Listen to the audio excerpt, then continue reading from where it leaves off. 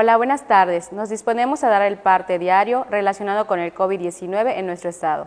Adelante, doctora Patti, por Gracias, buenas tardes. Estamos en la fase 3 de la contingencia sanitaria ocasionada por el coronavirus COVID-19. Esta fase es en la que se corre mayor riesgo de contagio, por lo que se han establecido diversas medidas para frenar el avance de esta enfermedad y el sistema de salud pueda atenderlos a todos los contagiados que lo requieran. Estas medidas tienen como objetivo proteger la salud de los yucatecos. Los invitamos a seguirlas de manera estricta y a quedarse en sus casas.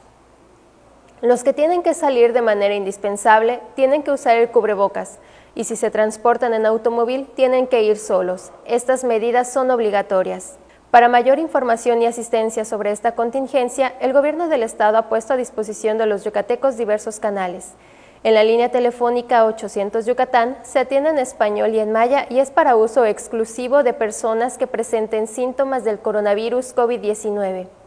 En la página de internet coronavirus.yucatán.gov.mx también se ofrece información en maya y en español. El chat de WhatsApp en el número 9992008489 en español y 9991406622 en lengua maya ofrece un diagnóstico automatizado y en caso de ser necesario ponerse en contacto con las autoridades y ser atendido ante los síntomas de coronavirus. También está en funcionamiento el chat de la salud, vía la red social de Facebook. La aplicación Meditoc está diseñada para uso único y exclusivo de quienes presentan síntomas del coronavirus. Es gratis y se encuentra disponible para su descarga en Apple Store, para teléfonos iPhone y tabletas iPad y en Play Store para dispositivos con sistema operativo Android. Recomendamos a la población vulnerable como adultos mayores, mujeres embarazadas, personas con discapacidad, Personas con padecimientos como diabetes, hipertensión, sobrepeso, problemas cardíacos, VIH, cáncer o tabaquismo, si presentan fiebre, cansancio o tos seca, acudir de inmediato al centro de salud más cercano. A continuación, el parte médico de este lunes 4 de mayo. Hoy se detectaron 19 nuevos contagios de coronavirus, 7 en Mérida, 4 en Canacín, 2 en Junucma y en Humán, y uno en Copomá, Mashcanú, Mushupip y Sinanché.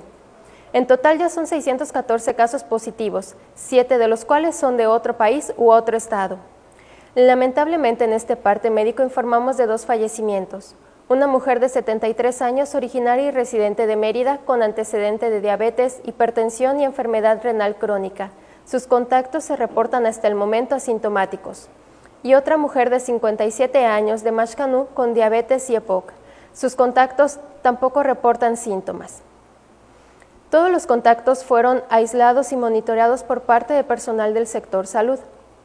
Tras la confirmación de estos sensibles hechos, el personal médico siguió los protocolos y lineamientos marcados por la Organización Mundial de la Salud y las autoridades federales.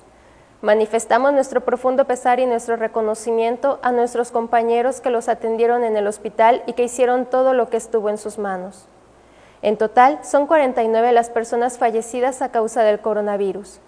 De los 614 casos confirmados, 291 ya se recuperaron, no presentan síntomas ni pueden contagiar.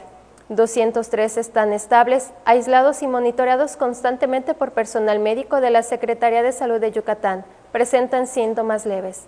71 de los casos confirmados están hospitalizados y en aislamiento total. La paciente yucateca contagiada y diagnosticada en Canadá continúa hospitalizada.